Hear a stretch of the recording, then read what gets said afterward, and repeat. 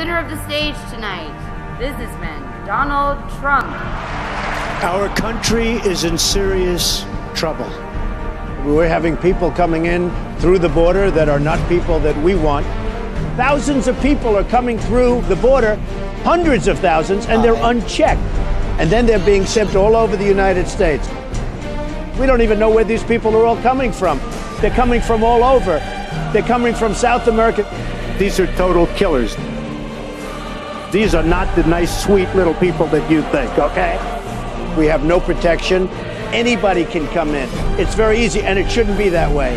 We need to build a wall, and it has to be built quickly. I would build a great wall, and nobody builds walls better than me, believe me. They are totally taking advantage of us, and that's what's happening, whether you like it or not.